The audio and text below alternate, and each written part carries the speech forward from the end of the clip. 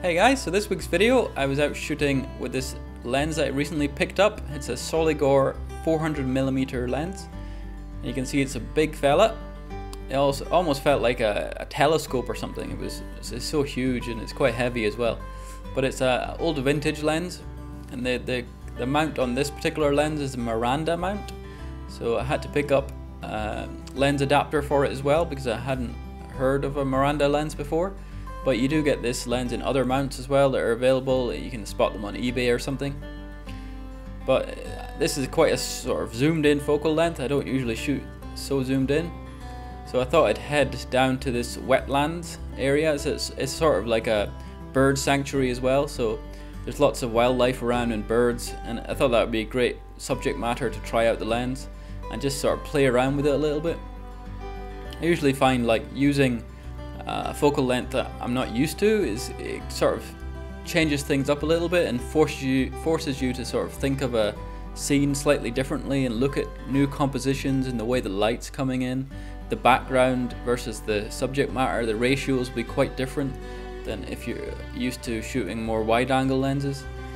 So I just thought I'd give it a go and uh, just try it with these birds. They're not the fastest moving birds in the world so that's good on this lens because it's a manual focus so the manual focus is fairly sort of finicky with this sort of zoom lens zooms ratio because every time you touch the lens it, if you wobble it even slightly it's moving quite far in the frame. So uh, I had it mounted on the tripod here. I wouldn't recommend using it handheld. That would be almost impossible. Um, ideally you probably want a slightly sturdier tripod than what I was using. I usually carry a pretty compact travel tripod. But you probably it would probably work a little bit nicer on a nice fluid head type tripod. But you can see the shot first shot here.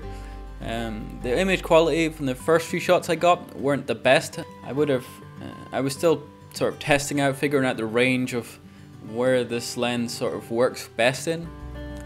And the, it does open up uh, to 6.3, that's sort of its widest and I found out 6.3 is quite temperamental about what distances are, are sharp when you're taking shots. So I found that eh, if you don't go too far out with the your focus, um, you still can get reasonably sharp photos on 6.3. But if you're quite, if your subject matter is really far away, you want to step up to maybe f16 or somewhere around that range. So you can see this little group of birds here and they're all just standing around in the, the grass over there. And they're quite a far distance from me. And uh, this but this lens is really great at just framing them really nicely at this sort of distance.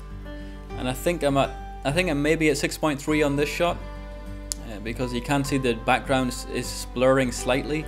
And I was just testing out the different apertures at this frame was quite nice because I could focus sort of move the focus back and forth and I can see the movement of the focal plane through the grass because it's a nice flat area to see it.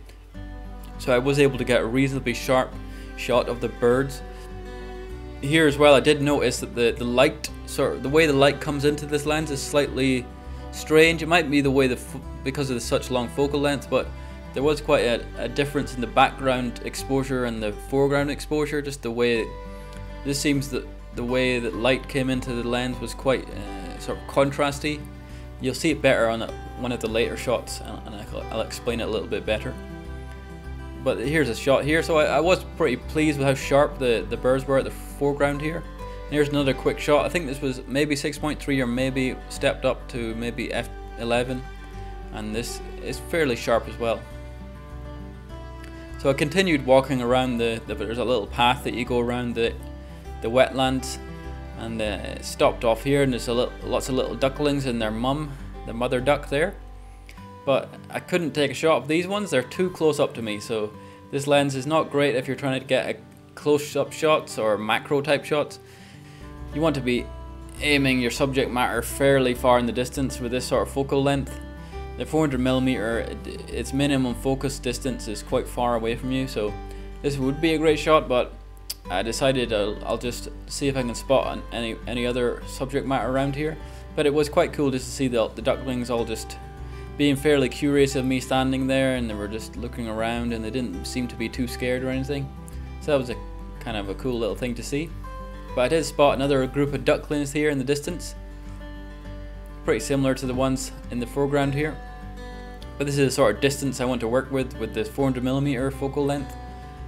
So I'm just trying to, it's not obvious in the shot here, so I think I did zoom in a little bit. And you can see them a little bit more, and just the way the light's coming in just now, the light's starting to rise a little bit more, and you get, you're getting some nice reflections uh, against the water as well. So it, just everything's starting to pick up a little bit in terms of the lighting. So you can see in the final shot, there's some great reflections on the in the background on the reeds there, and I, I was pretty pleased with how sharp the ripples were and the ducks themselves. So this was later on, this is in the evening during sunset and uh, I just thought I'd try and some take some landscape shots with a 400 millimeter lens. Uh, I'm us usually take landscape shots, that's kind of what I prefer to take. So I thought, well, how can I sort of view my compositions and view my environment through a 400 millimeter lens in a landscape setting? So I, I was trying to zoom in on here on the there's a gondola station across the way across the hills and uh, just framing it in this cool little crest in the in the mountains there. And I did I thought it'd be quite a cool idea just to do a little drone shot here. It's sped up quite a bit but quite a cool idea to just fly over here with the with the drone and show you how far away the subject is here. So you can see the, the crest and the hill here just at the bottom of frame now. That's sort of where I'm aiming through and then it's reaching all the way over to the gondola station in the distance here. So it gives you a good idea of how far it is. The footage is sped up quite a bit as well because it did take quite a while to, to fly over there with the drone. But you can see now in the frame with the camera screen there that it does reach really far with that sort of focal length. And you can also see that I'm shooting at exposure plus 1.3 and I did notice with this lens it, it's I think it's mainly because of the distances. It does struggle a little bit with lighting and backlighting. This may be because it's the light has to travel so far through the atmosphere. The, the, the way the light's coming back is quite different. So I felt like the shadows were quite strong in the shots if I didn't step up my exposure. So you can see I was stepping back down to zero and you can see it's way darker on the back of the screen here. I can barely see the hill in the foreground. You can see the sky really well, but there seemed to be a much bigger difference. So here's the final shot. and I was really pleased with how that one turned out. Now the sun is just starting to set now and it's starting to hit the tops of these hills and is dipping below the cloud line there. And I thought it'd be a really cool shot here as well. There's a, a radio tower in the distance. You might have seen it in some of my other videos.